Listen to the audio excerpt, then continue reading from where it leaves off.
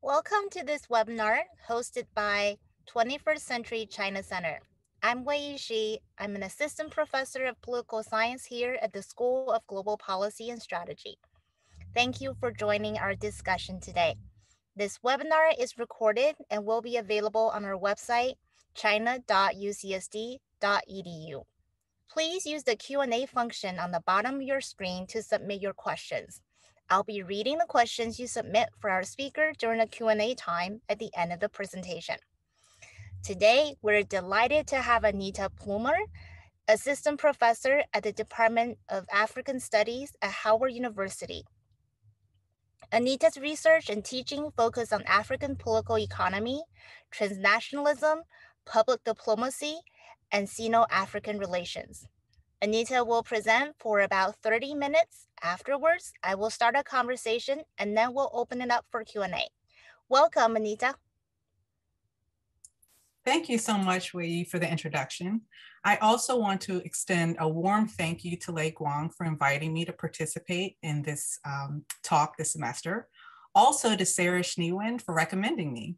So this afternoon, I hope to spark a conversation on a topic that has been the subject of robust debate in classrooms, at conferences, in the media, and of course on the street level, especially across Africa. And that's of course Africa's engagements with China and what it means for the present and future of African development and politics. But today I will focus on a particular sites of discourse, where the interactions of non-elite Kenyans within contested political spaces are working to understand, deliberate, argue, and respond to the policies of Kenyan state agents and their engagements with actors, diverse actors from China. So I'm gonna share my screen now. So let me know if you can see it. Okay. Yep. Great, thanks. Online discourse on government responses to Chinese intervention in local sites of production, transaction, and consumption provide insights into how Kenyans are deliberating and debating economic change. The major area of concern is that the surge of Chinese manufactured products threatens homegrown industries. This afternoon, I will unpack local street level reactions to China's role in local markets through one widely publicized case in Kenya, a short lived trade war over fish imports from China. As the case will show, traditional media, social media, and cross platform messaging software all provide spaces where people share ideas and argue about trade with China and industrialization in Kenya. The ideas that emerge about the impacts of China's economic interventions on the street level are complex come from a diverse set of actors and have evoked a range of responses, especially from government officials. This talk is a part of a chapter that actually examines three cases that illuminates the contradictions between Kenya's domestic policy and its foreign policy with China. The two other cases examine Kenyan perspectives on ken counterfeit goods on local markets and Chinese migrants in Kenya's in Kenya's uh, largest retail market and wholesale market. So during the Q&A, if you have questions about those areas, we can definitely talk about them. So I'll begin by conceptualizing briefly what I mean when I say street level discourse, followed by um, the case of uh, President Uhuru Kenyatta, who said, you know, here comes the fish. We'll then go to Gikomba Fish Market, and then I'll wrap up with some final thoughts. The actors who participate in discourses on Kenya and China include individuals and coordinated groups inside and outside formal and informal institutional frameworks. The actors engaged in Sino-Kenyan discourses from within these formal institutions include Kenyan high-level government officials in the executive, members of parliament, and diplomats. Chinese government officials also work within their own institutions to create and influence ideas and discourses within Kenya. Those outside of political frameworks and policies articulate a street level communicative discourse that seeks agency and change within the formal institutions. These individuals and entities include professionals, activists, people in the informal sector, small business owners, environmental organizations, university students, construction workers, engineers, market sellers, fishers, bloggers, and social media commenters. These are all people that I've uh, interviewed over the course of my research. I consider them members of the informed public. The Kenyan informed public has access to information, albeit at different levels and from different sources, that has informed their views on issues. In the case I'll discuss this afternoon, I unpacked how informed people gathered information, considered arguments and counter arguments, and refined their own perspectives. James Fishkin calls this process deliberative or refined public opinion. Fishkin argues that refined public opinion influences institutions and serves as a core component of citizenship and representative democracy. Kenyan informed publics speak for themselves and have included their voices in deliberations on Kenya's engagements with China. Kenyan actors outside formal political institutions are operating in ways that have, in some cases, forced both the Kenyan and Chinese governments to react, and in some cases, revise policies that negatively impact ordinary people.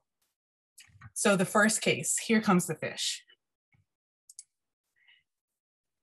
Kisumu, the county that hosts Lake Victoria, the largest inland source of fish in the country, dealt with a flood of imported frozen tilapia from China beginning in 2016.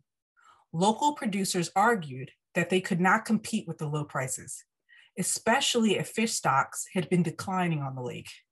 Member of Parliament Nicholas Gumbo of Kisumu said, quote, our concern is that the government allowing fish imports from China is nothing less than a scheme to completely kill the fishing industry in Kenya in total disregard of who is being out, being out at risk and the possibilities of serious job losses for a fisher, quote, end quote. In Eldoret, the largest city in the Rift Valley, a truckload of frozen tilapia from China was seized and local officials claimed that the fish was not safe for human consumption and implied that it was illegally smuggled into the country. These two examples provide some context for the debates that erupted in Kenya after the government issued a ban on fish imports from China. In an October 2018 speech at the Small and Medium Enterprises Roundtable, President Uhuru Kenyatta addressed the issue of increased fish imports from China. He began that part of his speech with a statement, and this was in Kiswahili Here comes the fish, which was immediately met with uproarious applause. He went on to excoriate the quality of the imported fish and signaled to Kenyan technocrats to, quote, think out of the box on how to stop the imports. The president was sending a message to his own government and Kenyan businesses to be competitive in the fish markets.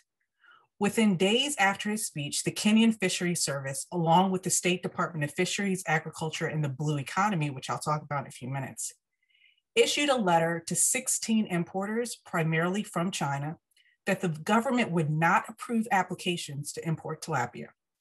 Kenyatta carefully responded to mounting dis, dis, dissatisfaction from fishers, processors, and local distributors by saying that imported fish was undercutting local industries.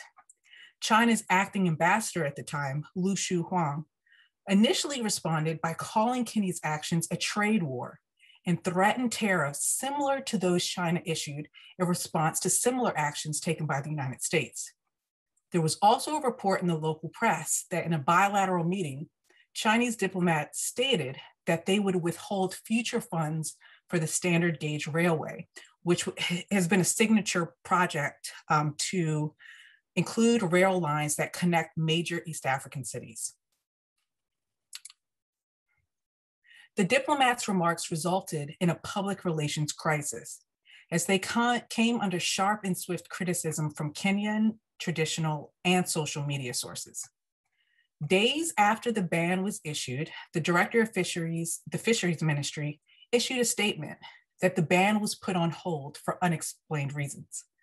The Chinese government also retracted their comments, but the incident contributed to the discourse on China's role in Kenyan markets, the erosion of the local fish industry has been on the agenda of local Kenyan policymakers whose top down approach to solving the problem fits under the moniker of the blue economy.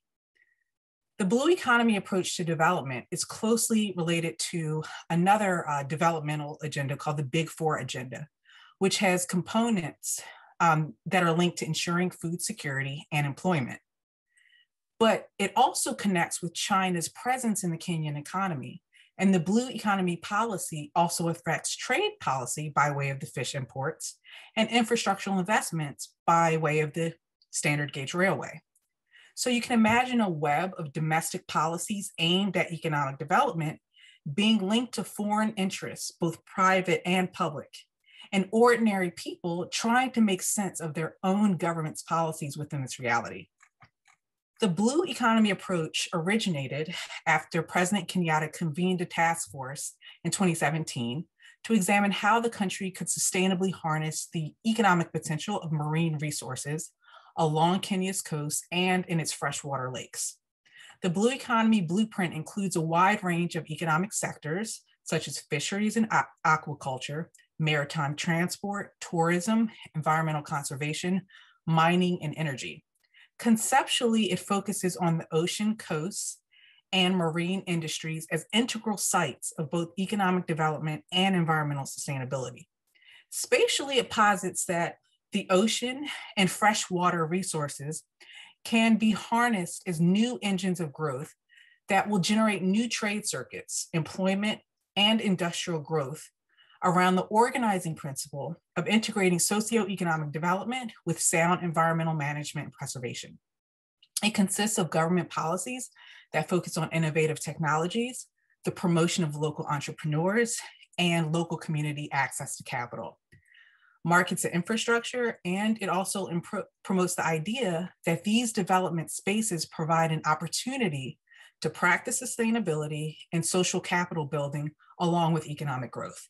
So keep that in mind um, as I move forward and discuss the street level perspectives, the rationale behind government policies um, as it relates to the fishing industry.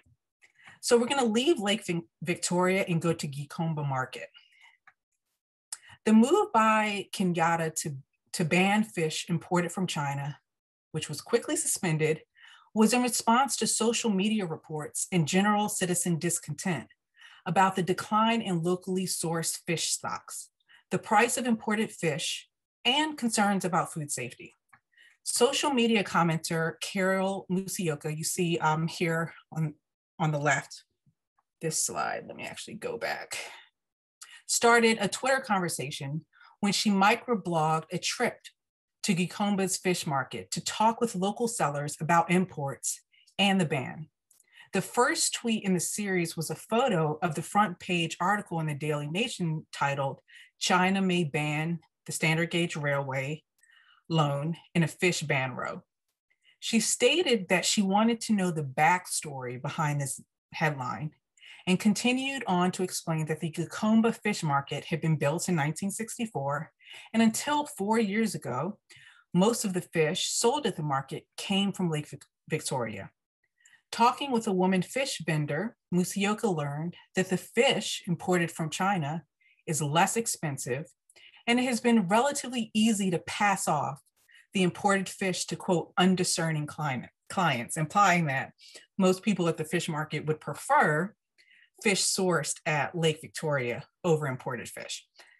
Complete with photographs of fish samples imported from China and locally sourced fish.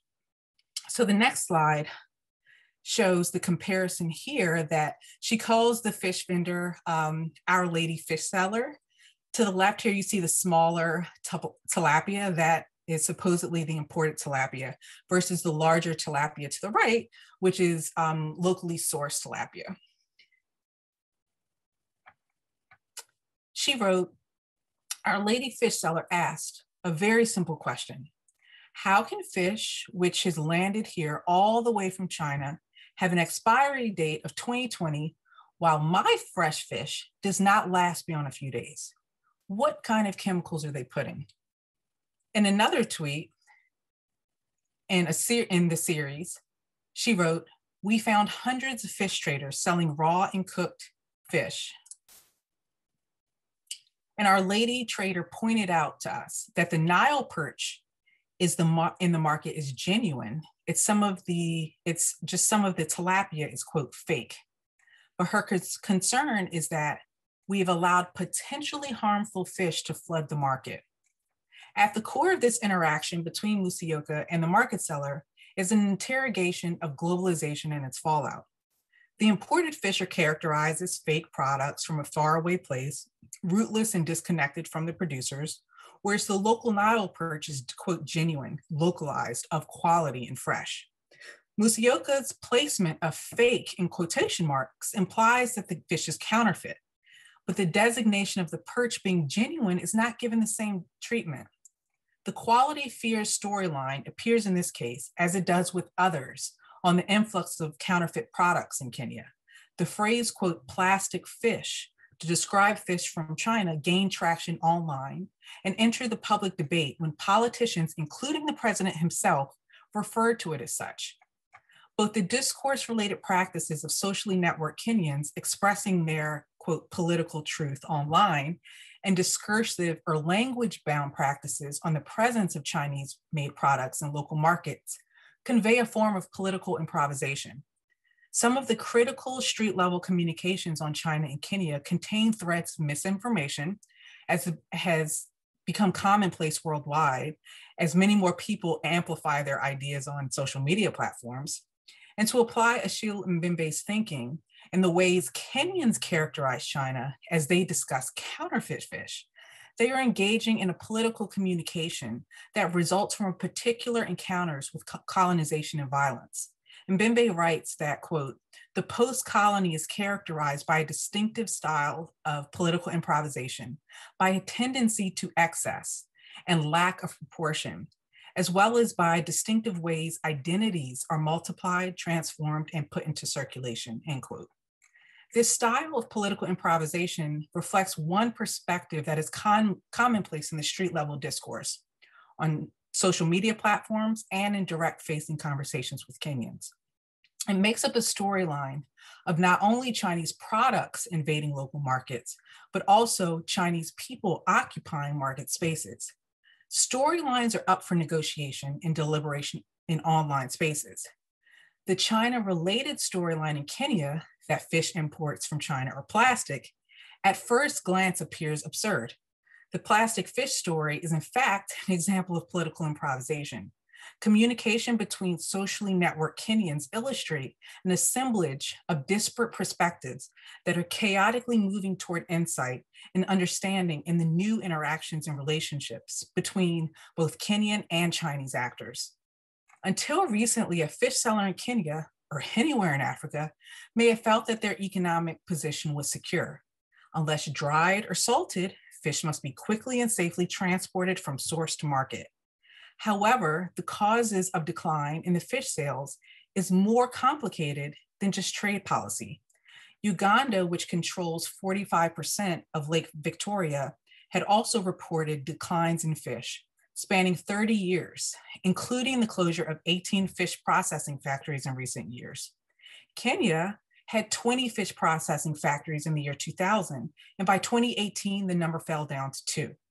Producers, wholesalers, and distributors all earned money through a network based on localized transactions. In recent years, the perception has been that imports from China have flooded the market and driven down the prices. Micheni Ntiba, the principal secretary of uh, the Ministry of Fisheries, told Parliament that local production could not meet demand, and that in 2019, the nation faced a critical fish sort- shortage, which, if you're in Kenya, that would create a crisis because fish is part and parcel of the culinary culture of, um, of Kenya. He attributed the decline in fish in Lake Victoria to increased competition from fishers in neighboring Tanzania and Uganda, and to the increased border security at Lake Victoria that prevented Kenyan fish catchers from traveling beyond Kenya's border, maritime border, that is. So, another problem was that the declining fish stocks of Nile perch on the lake uh, was due to pollution and unsustainable and illegal fishing practices, which had destroyed uh, breeding grounds. Kenyan, Tanzanian, and Ugandan authorities actually responded to these petitions by fish catchers, processors, and distributors to address illegal fishing that had a deleterious effect on the industry.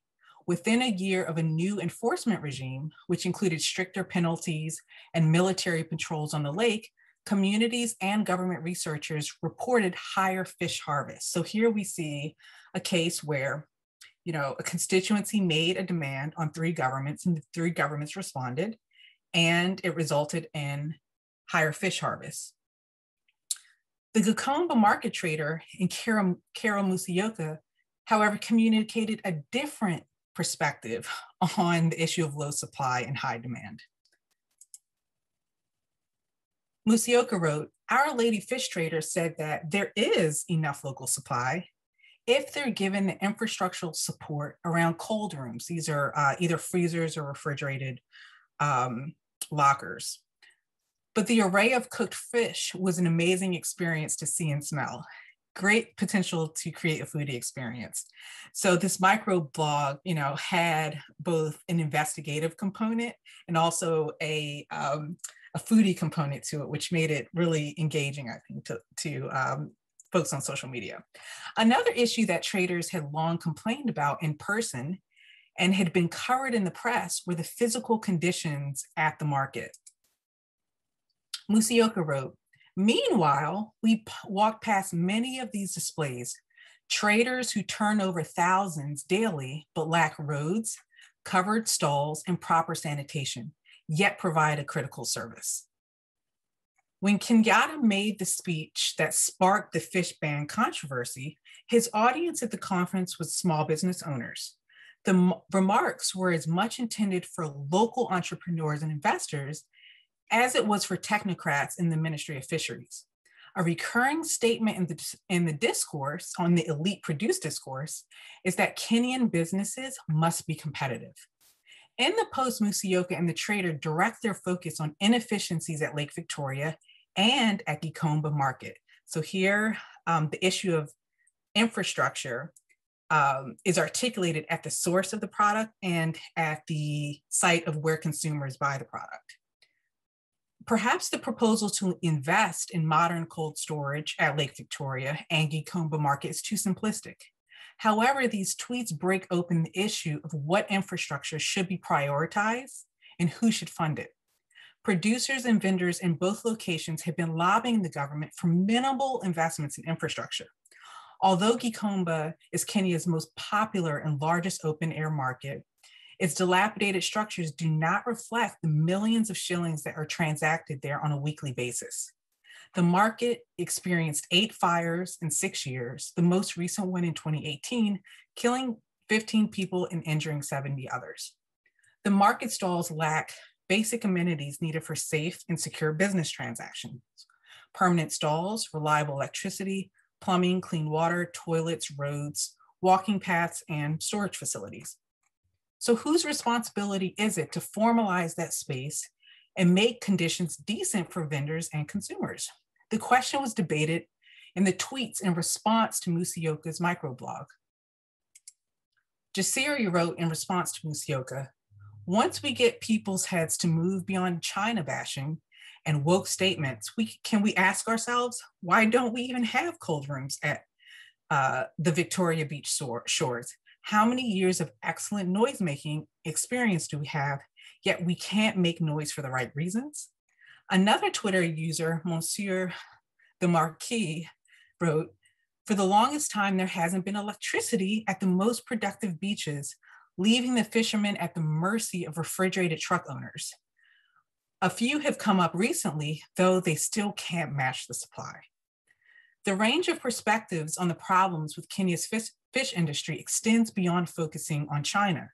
The discourse deepens as agents look within for alternative explanations for the decline in local competitiveness. The subtext of Jasiri's tweet is that China is a scapegoat for failures in sound infrastructural investments. The dialogue shifted to an entrepreneurial tone with participants sharing accounts of homemade freezers fueled by methylated spirits, which is very dangerous, and solar freezers. One respondent wrote that stakeholders should want more for themselves, while another said she had wished that the president would be firm and decisive for once and stop putting and to put a stop to the Chinese blackmailing and ensure that the blue economy is able to create jobs for our people. Now, it's interesting that she evokes the blue economy here in this tweet, um, but the Chinese blackmailing comment was, of course, in reference to the threat made from the acting ambassador from China to withhold SGR funds if the fish ban had continued. The participants in this discussion connected the conditions on Lake Victoria and Gikomba Market to President Kenyatta's blue economy, and for good reason. The political messages transmitted by government officials on the blue economy and the Big Four agenda focus on job creation and food security. In his 2019 Madaraka Day national address, Kenyatta stated, quote, we are embarking on building a vibrant maritime and blue economy that will elevate and transform our food security and create employment opportunities for our people while expanding our economy, end quote. However, investments in the fish industry also promote industrial policy and small and medium sized enterprise development because the fish has to go through a value added process before it goes to market. The discourse on social media and on the street show that the government's political messages are not aligned with policies that address street level market issues. Um, a, a, tweet from Jasiri responded to the thread, quote, with legislative weight behind it, how long do you think it would have taken to energize the beach? We, have, we just have to accept that there's no interest from leadership, end quote. Online threads like the one Musyoka started advance the idea that development, need, development needs to be relevant to people on the street in Gikomba and on the shores of Lake Victoria. Street level discourses yield low cost street level policy fixes. Street level deliberations inform the discourse from a practical vantage point that broadens the man- mantra of looking east to include policy priorities that look within.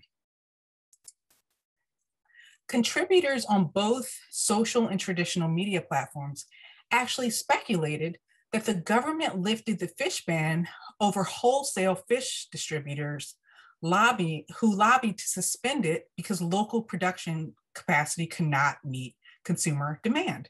So actual importers within Kenya were partly responsible for the lifting. If the government also were to institute tariffs or restrict trade policies that would benefit industrial policy, it would be at the cost of angering constituents who benefit from the stiff competition in markets, and in this case, low cost fish. On social media, commenters attributed the swift reversal to China's explicit threats to withhold funding from HG, uh, SGR. So we see in the deliberations as to why the Kenyan government lifted the fish ban. There are multiple perspectives on that matter. So um, in closing, we go back now to the central question how does China fit into Kenya's vision for itself? Big policies such as Vision 2030, the Big Four, the Blue Economy, which in some part relate to Kenya's foreign policy toward China, have encountered questions and in some cases resistance in the street level discourse. The street communicates different priorities for economic development that tend to focus on how to overcome specific barriers to trade and production within local marketplaces.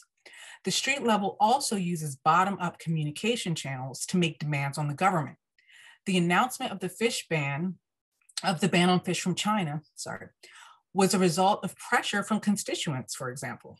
The flip of the fish ban policy implies a contradiction in how the government views itself as a driver of industrialization.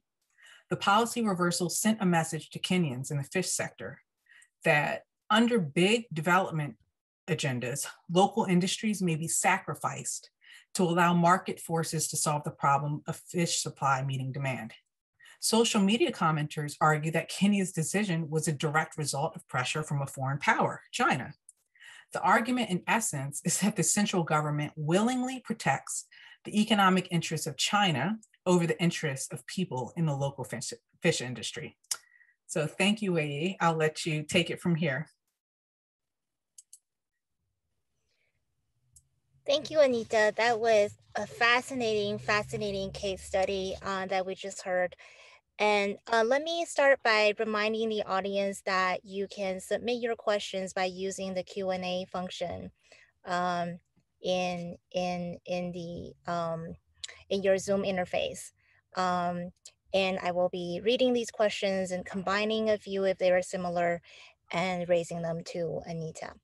Um, Anita, but let me first start um, by asking a question of my own, uh, and it's more on the clarifying side. Mm-hmm. Uh, as I was hearing uh, this really fascinating case that's been going on, um, I was wondering whether um, if you could say a little more about the specific timing um, of the uh, of the conflict we're seeing uh, between China and Kenya. And why is it happening? It sounds like it started kind of ha happening in 2016 and continuing to today. Uh, why did it start escalating then? And what was happening in terms of China's China's um, exporting policy at the time in combination what, with what Kenya's trade policy at the time in the agricultural sector that may have given rise to, to what we see on the ground? Okay, absolutely. So um, so in 2016, that's when the stories started breaking in local media about frozen tilapia entering local markets. And I think it was very shocking for Kenyans to see that because they're like, wait a second, we have Lake Victoria, we produce fish. I don't think folks understood the supply issue on the other uh, end with uh, fish stocks depleting over time. So, of course, wholesalers um, felt, fill that void by importing fish. At the same time, China uh, also, you know, globally has become the largest exporter of fish everywhere in the world. So, you know, you have China's exports on one hand in terms of you know entering markets globally with frozen fish you have the decline in fish stocks in lake victoria and people seeing this and saying wait a second you know since when are we importing fish from china now this also corresponds with major infrastructural projects happening in Kenya at the time, financed by Chinese um, um, uh, entities and the projects being carried out by Chinese firms. So this case isn't in isolation from other projects that Chinese companies and the Chinese government is facilitating in Kenya. So I think it had a visceral reaction when people gradually saw the influx of Chinese imports because they're experiencing the influx of you know Chinese counterfeit or counterfeit goods from China.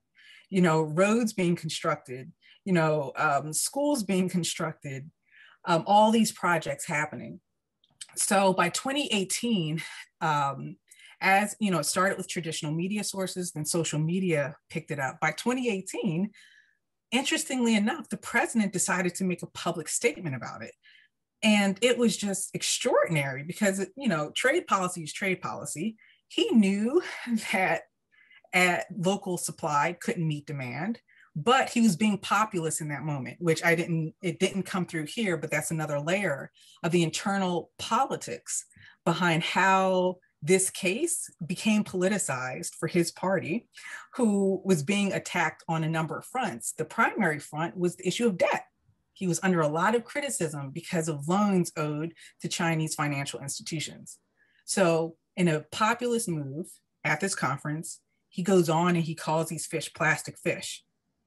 And when he tells the technocrats, hey, you need to do something, the technocrats did something. you know, the actual letter was released in the media that was sent to these export processing companies. But yet there was a contradiction on what people were experiencing on the ground. So the fish ban only lasted about six months. It was very swift, right? And there was a, it, and then there was a reversal. Um, and after the Kenyan government and Chinese government sorted that out, they both then retracted their statements and dialed back. Mm-hmm. So then that was a betrayal for people on the street level, right? right. So um, Kenyatta and his party lost a lot of credibility as you know they were rolling out other domestic policies too and people then saw the contradictions and said wait a second you know it's not a matter of china here it's a matter of our own leaders not working in our interests but there would have been a crisis if people didn't have fish to eat, seriously. So that's why, you know, when folks said it was actually local importers that pressured the government to lift the ban, that that makes a lot of sense to me. because imagine not having, you know, a staple food available to you. But um, but I'm not a China specialist. but what I do know is that um, uh, this trend has been happening not only in Kenya, but in other, you know, especially coastal African countries where fish is a part of the diet. Um, and this corresponds again with China's role within the fish industry globally. The technology is there in terms of fish farms, which that was another issue that came up. Um, when I interviewed people on the coast in Kenya, I interviewed some fishers that said that, you know, Chinese owned fishing trawlers were fishing these fishing grounds in Lamu. Mm-hmm. Um, it's in northern Kenya. And they talked about the technology. But what's interesting is the fishers were very nuanced and very practical about it. They said that the trawlers likes um, um, larger fish, but Kenyans along the coast actually like eating smaller fish. They said, you know, it's not, it's seen as bad luck eating fish that's too large, right? So they said, why can't they just, you know, give us the smaller fish and they can just take the larger fish, right? So they're working out, the, you know, the practicality of it instead of because the smaller fish end up dying too. So this is how people are understanding it. It's quite practical, you know, how to solve these issues. So that was a long answer. I hope. that is that is fascinating, and thank you for providing that richer background and understanding um, the specific story you told in your in your presentation. Now we have accumulated a bunch of questions, so okay. I'm going to uh, try to combine a few that may be along similar lines. And it's interesting you mentioned, you know, how how the case you presented is not an isolated phenomenon.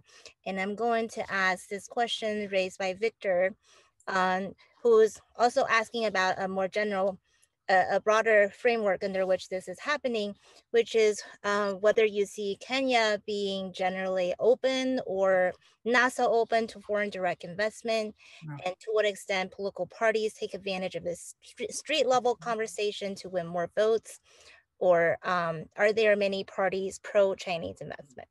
Yeah, so Victor, these are two really good questions. So yes, Kenya is is very open to FDI. You find that most African governments say we want investment and trade over aid, right? So that's now the mantra across Africa.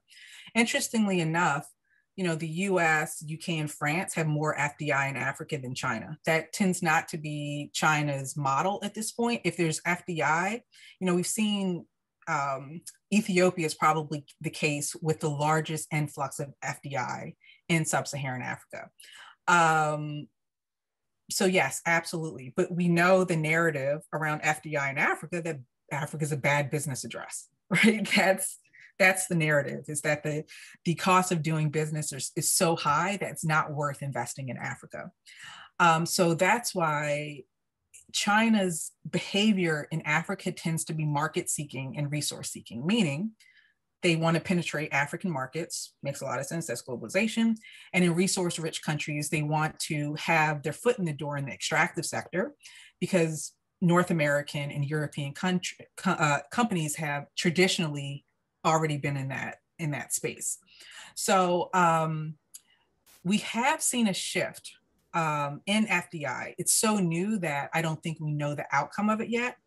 Because there's so much discontent around lending and so much fear around lending in, in some countries in sub Saharan Africa, Kenya being one of them, that um, the Chinese government has said that they're switching into a public private partnership model.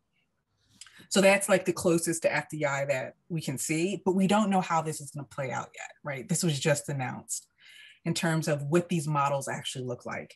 And this is in line with my understanding that the Chinese government is trying to encourage more private companies and not parastatals to invest more in Africa. They're really trying to encourage Chinese entrepreneurship abroad and trying the um, um, the non-state influence system and uh, development projects. So we'll see how that plays out.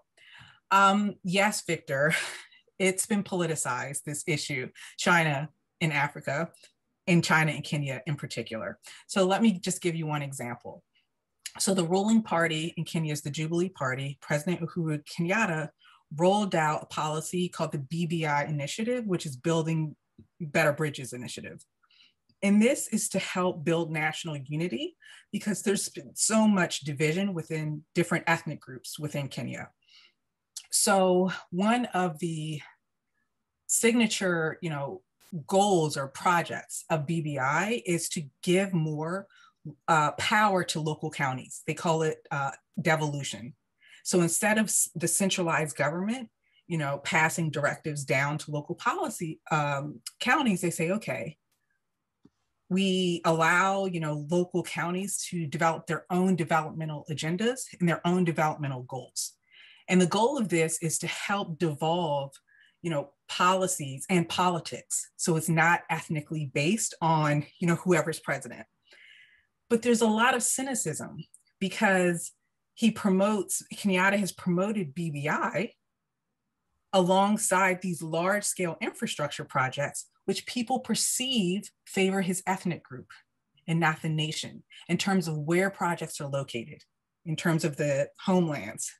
So it's poisoned the well a little bit because people are making these connections um, because the projects aren't equitably, the infrastructure projects are not equitably distributed across the country. So it becomes very apparent that, okay, you're using you know Chinese finance and infrastructure to help people in your home area.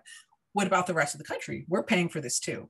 So people are curious to know how resources are going to be allocated under this better building better bridges initiative but people make the direct connection between um, kenya's foreign policy being used to benefit him personally and the perception that it's benefiting his ethnic group i have a different take on that right i think it has to do more with class and elites using this relationship to benefit themselves um, and it's almost too obvious that politicians will use their connections with the Chinese government and access to funding to help their own constituencies.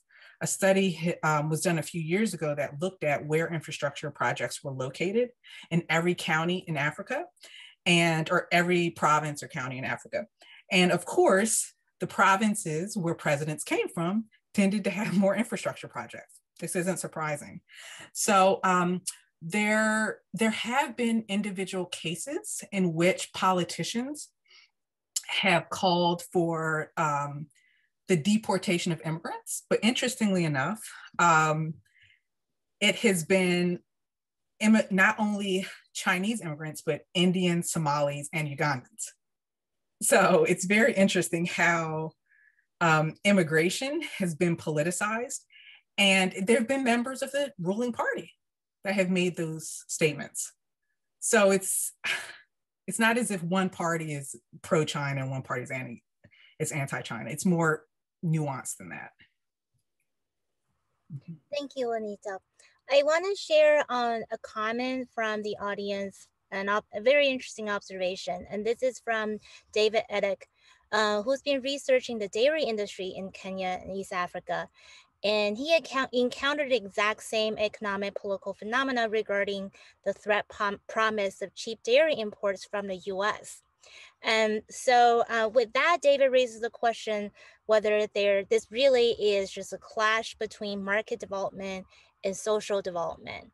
Um, and, um, and in addition, maybe we should think about whether there is inherent tension between the impact of trade which tends to manifest itself um, very immediately versus if you were to take the approach to uh, encouraging development, pro-developmental policies, which often take a longer time horizon for it to materialize. Oh. Yeah, I agree. Uh, did you want me to respond? Oh, I agree with everything yeah. you said. um, in terms of um, the clash between market development and social development, yes, in this particular piece, I actually look at industrialization. So I, I, I try to fit it squarely within government rhetoric and try to turn it, well, I don't turn it on itself. I'm arguing that the street level is questioning this too. Um, but absolutely, there are major contradictions like glaring contradictions here. I guess I guess something that is um, sometimes puzzling to me is that this sort of tension is not unique to Kenya, it's not unique to Africa, and it's also not unique to just Chinese investment. But it does seem that it often is China and the presence of Chinese investment and Chinese products um, that tends to attract the most controversy. Now, is it your observation that this is mostly because China's, you know, what China's doing is still relatively new, mm-hmm. or is it because there are some truths to um, aspects of how Chinese companies operate, and the the nature, you know, the quality of the Chinese products maybe are um, lacking in some respect comp compared to the local products or other types of imports. What's your sense? Yeah, I think it's really complicated. I think, yes, um, even though China's presence is not new, but it's in terms of scale and penetration, it's become more intense. And I think folks are really trying to make sense of yet another foreign power intervening within their borders because the last you know major case of that would it was the cold war and then before that it was colonization um, but at the heart of your question is how is China behaving differently from other foreign pa- pa- uh, entities operating in Africa in this moment? And I think that's what that needs to be at the heart of the research. What is happening differently here? What is China doing differently that the United States or UK or France, you know, the Western powers, how they're interfacing on the ground, and then also how they're interfacing on the macro level. Um, and I think that's what we're trying to unpack because, yes, you know, it's been 20 years since this new surge. It's still pretty new and it's still pretty opaque, um, but it's becoming more and more intense. Um, so I think more research needs to be done in research into specific countries, right? Because the culture of Kenya, it's very different than even Tanzania and Uganda.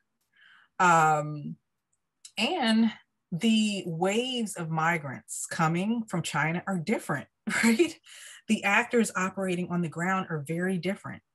Um, so understanding their interests and the perceived power that they have on the ground is also very important because people will feel insecure and threatened if they feel like some outside entity is coming that's displacing them if the government is treating the outside entity better than their own citizens, that also becomes a source of tension that we that I think people are experiencing and trying to understand. So this idea of people deliberating and trying to understand the ambiguities, because I think it's more ambiguity than anything in terms of what these outcomes actually mean for people's lives. I don't you know, I don't think folks really know what does it mean when they're, you know, increased uh, market sellers from China selling the same things you're selling. Mm-hmm. Now, the issue of quality, I think um, that is linked to, you know, xenophobia and stereotypes. Um, because if it weren't for low cost Chinese goods in Kenya, there would literally be millions of Kenyans out of work. So it's low cost Chinese goods that are employing more people literally in Kenya than the manufacturing sector. And the government knows this. So you take away people's economic lifelines. They're very careful if you say, oh, we're going to ban, you know, low cost goods. No, people don't want that. Because anywhere you go, you know, whether it's in the city or out in rural areas, you see low cost goods that are accessible to people. Why?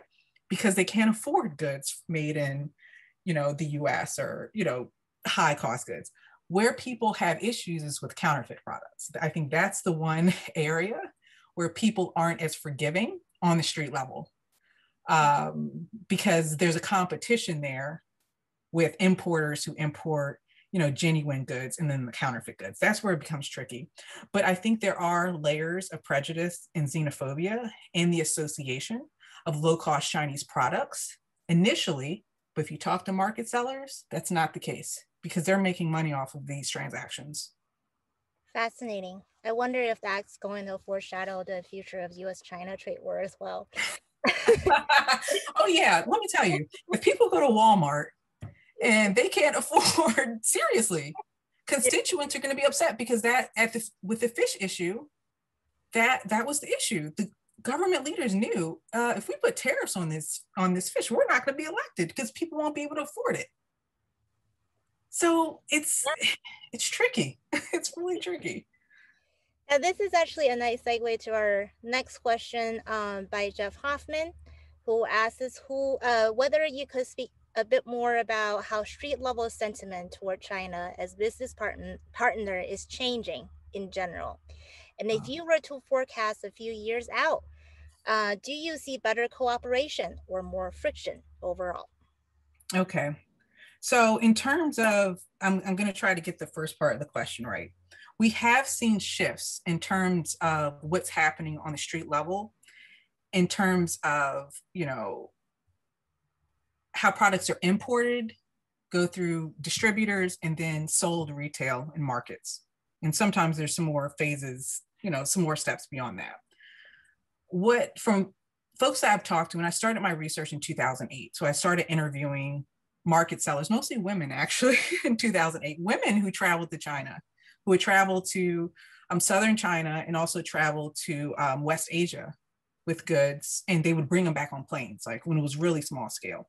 Um, and back then, you know, Africans generally, they were intermediaries in this process, right? They had a role in terms of the import and the wholesale distribution.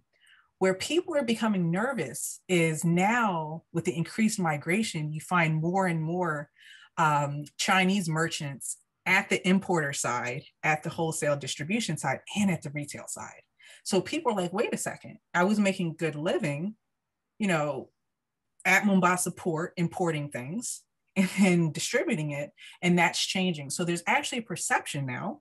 And this is another part of this project. I didn't get to this case where they feel that Chinese um, importers are paying bribes to people at the port to streamline their goods so their goods can fast track from Mombasa port to Nairobi.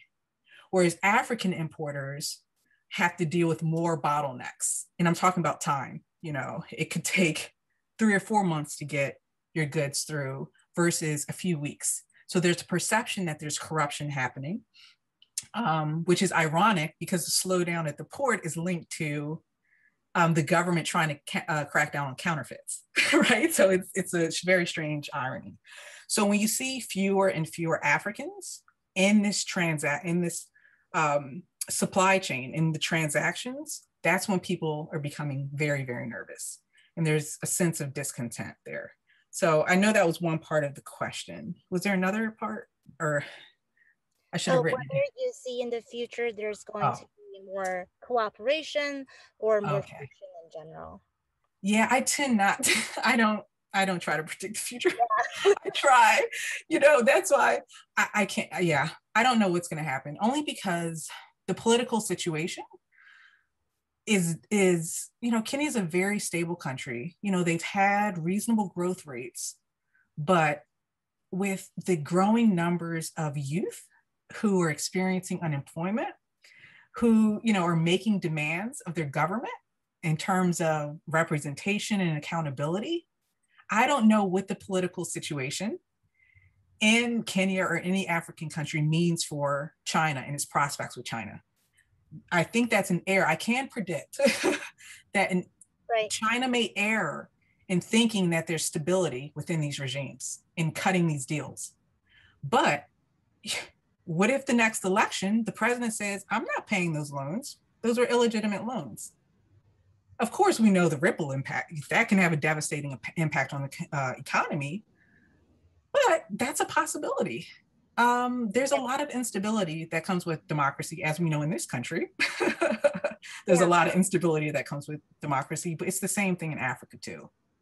Yeah, absolutely. I mean, there has been for years this discussion of risks involved in yes. Chinese financing and Chinese investments overseas, yeah. but really when it comes to what's actually happening in terms of capital flowing yeah. outside of China, we haven't actually seen that many changes into developing economies. It's still roaring forward. Yeah. So, yeah. And it's very hard to predict what's going to happen in the future. Uh, so we only have a couple minutes left, and I just want to highlight one comment and then um, one question if you could mm-hmm. uh, answer quickly. And it ties into what you were saying earlier about youth. Um, the question from Enrique, which is uh, the, about the presence of Chinese pop culture in, in Kenya and whether you see any similar backlash to cultural imports from China. And I just also want to throw in, although not terribly related to the pop culture question, but very much relevant to today's discussion, comment from Sarah uh, that looking back in history, in the American Revolution, Chinese products were also at the center of nationalism. When mm-hmm. colonists boycotted what they called the baubles of Britain, they were talking about tea, silk, porcelain, all from China. The tea thrown overboard in Boston Tea Party was Tie Guan Yin tea. Mm-hmm. So uh, so maybe you could, if you could just talk a little bit more about the pop culture uh, phenomenon, and then we will end our uh, talk today. Okay, I actually don't know anything about Chinese pop culture in Kenya. So, what I've looked at is um, how the Chinese government has, tr- through the Confucius Institutes, have mm-hmm. tried to encourage um, Kenyan university students to study Mandarin and learn more about um, Chinese culture from a government perspective, right? Chinese culture is very, very broad. I don't know that much about pop culture in Kenya. So if you know of anything that's been written on it, I would love to see it. Or um, if nothing has been written on it, I think you should, because um, I, I, wanted to raise that question because I feel like I don't know, and I'm so curious. yeah, so what's your next project? Oh well, yeah. Oh man, that that sounds really hard. But um, it's interesting. In Nigerian films, China has you know surfaced in Nigerian films and in some literatures, West African literatures. Um, but yeah, I would love for you to point me to if they're Kenyans, you know, into pop culture. I I would really like to see that. In terms of um, Dr. Schneewin's piece, yes, history is very important because one thing we haven't talked about, we have one minute left, is this idea that China is perceived as a neo-colonial power in Africa. And this is something that I'm grappling with in my own research. How do you pinpoint or conceptualize neo-colonialism with an actor who historically has not viewed itself as an imperial colonial power in the way that the West has? And I think historical markers become very important in terms of identifying way, you know, which you asked about earlier, what is China doing differently? Right. But looking at it within an African context, understanding how history has informed African perceptions of foreign intervention in terms of the trends, whether it's infrastructural development, debt, we didn't talk about military, military, you know, culture, you know all of the in politics all of these things uh, provide the context that's needed i think to understand um, how these new interventions are being interpreted and what they mean for the present and the future. So um, yeah history is very important um, in terms of the contextualization. So yeah i really appreciate that comment Thank you, Anita. Um, fascinating, fascinating, fascinating talk and fascinating discussion today. Thank you all for being with us today. Please stay in touch and sign up for our updates at china.ucsd.edu. This webinar will be available on video and podcast in the next few days on our website, china.ucsd.edu, where you can also sign up for upcoming webinars. Thank you, Anita, and thank you everybody for being with us. Thank you so much, Wei. Take care.